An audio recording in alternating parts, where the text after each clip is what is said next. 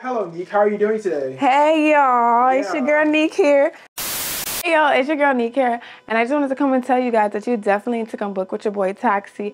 I just wanted to let y'all know that he is one of the best photographers I've ever worked with.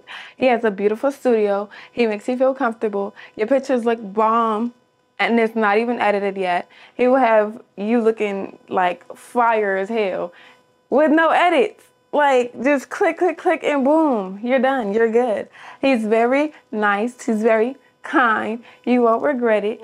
Have a changing room. You could change your clothes, all your get cute, and then come out, take your bomb pictures. A bomb studio, like everything you need, he has it.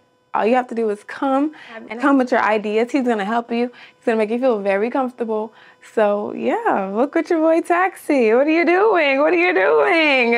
What are you doing? Have you booked yet? You're taking too long. Like you're still watching me. You should be go booking. Yeah.